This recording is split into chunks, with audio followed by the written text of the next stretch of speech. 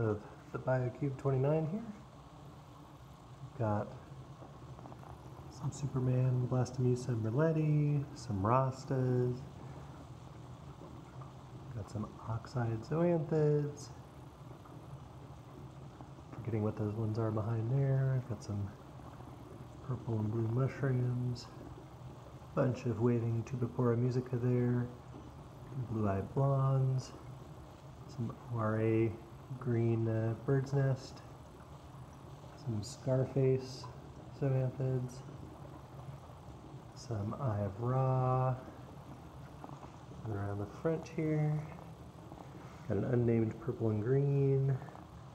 Got some of these golden Yuma Ricordea. That's a frag of one. I've got some more around the corner. Big Trachy. Uh, Dragon Soul Favia. Some green candy coral. There's some um, uh, purple hornets tucked back in there. Got some Sunny D's. Devil's Armor. Big yellow Ricordea with a teal mouth and some purple on it. Got a pretty, uh, pretty big size rock anemone there. I think these guys are Cosmos zoanthids or something like that. Forgetting those guys, I can label them later. Got some utter chaos, some um, radioactive dragon eyes. Got a big uh, purple sea whip. Got tricolor Valida colony that's getting somewhere sticking out of the water. Some more utter chaos in the back there. There's also some on the back of this main rock. Got some orange and red Leptastrea, some John Deere Leptastrea. Got a Aussie blue acro there.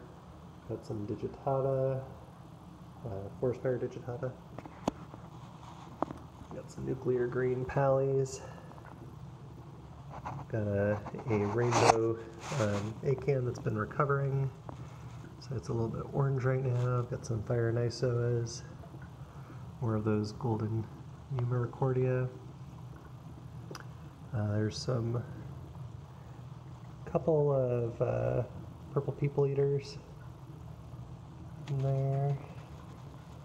We've got some ORA um, bird's nest up there as well. Some purple bird's nest with green base. There's also a um, feather duster in there, and there's a couple uh, the green striped mushrooms around. There's some of the actually those are red people eaters. Sorry, red people eaters. And then our, our two lovely fish, hippotang and a yellow coris wrasse. And then got a sump that's currently off. Well, the sump is on, but the uh, refugium light's off. Big fuge, bunch of um, stuff in there. Uh, growing lots and lots of pods.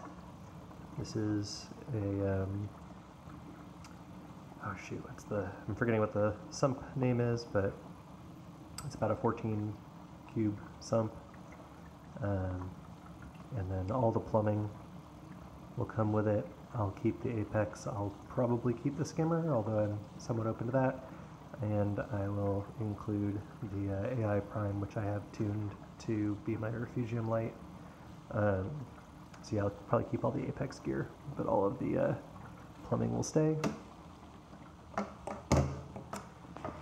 And then plumbing wise, got a flip, flip over the top here.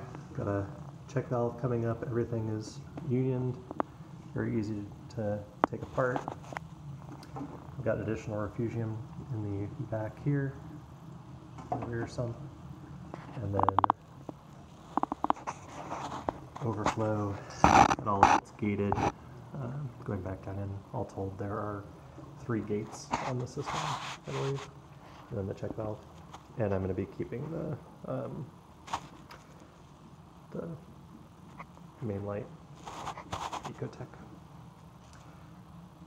So there you have it. It's a beautiful tank. It's been grown out for about eight years now.